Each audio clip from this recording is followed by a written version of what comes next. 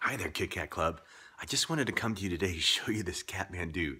Uh, it's really for attracting foxes, but it seems to be driving my cats wild. And I guess with a name like Cat-Man-Do, that makes sense. Whiskey, would you like some Cat-Man-Do? And as you can see now, the whiskey is definitely into the Cat-Man-Do. Pepe, would you want some Cat-Man-Do? Oh, you can see they are both very much into the Cat-Man-Do. Huh? Pepe, you want some Cat-Man-Do?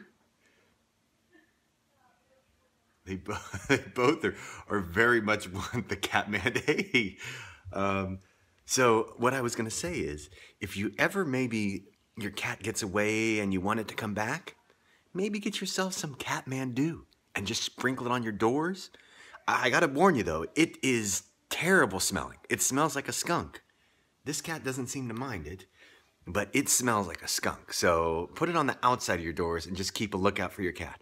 All right, Kit Kat Club.